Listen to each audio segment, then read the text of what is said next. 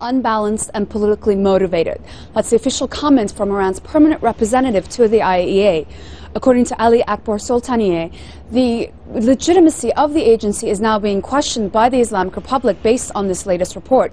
Now, officials here say that they've heard these accusations before and they've responded to them in a 117 page report just four years ago. They're saying that these accusations are rehashed based on a computer that was stolen from an Iranian official in 2004. They say that there is nothing new in this report and that they maintain their position, and that is that Iran's nuclear program is a peaceful one. That is a sentiment that President Mahmoud Ahmadinejad has also reiterated. He said that this report is driven by U.S.